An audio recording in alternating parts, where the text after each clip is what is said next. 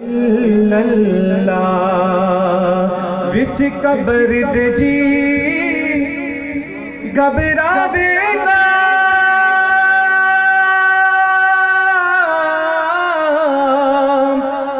इथे कोई ना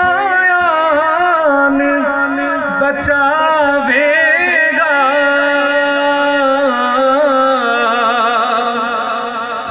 बिच कबर दे जी ਘਬਰਾਵੇਗਾ ਇੱਥੇ ਕੋਈ ਨਾ ਆਨ ਬਚਾਵੇਗਾ। ਉੱਥੇ ਸਾਡਾ ਕਮਲੀ ਵਾਲਾ ਆਵੇਗਾ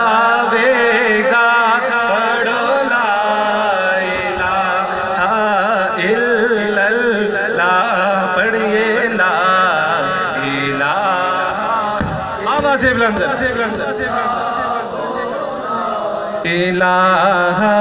الا اللہ پڑھئے لا الہ الا اللہ لا الہ الا اللہ جس پڑھیا او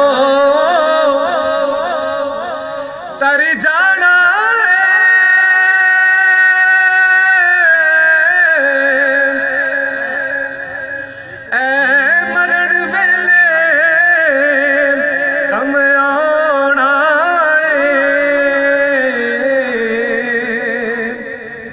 ਜਿਸ ਪੜਿਆ ਉਹ ਤਰ ਜਾਣਾ ਐ ਮਰਨ ਵੇਲੇ ਕੰਮ ਆਣਾ ਐਨ ਕਬਰ ਨੂੰ ਵੀ ਚਮਕਾਣਾ ਏ ਪੜੋ ਲਾ ਇਲਾ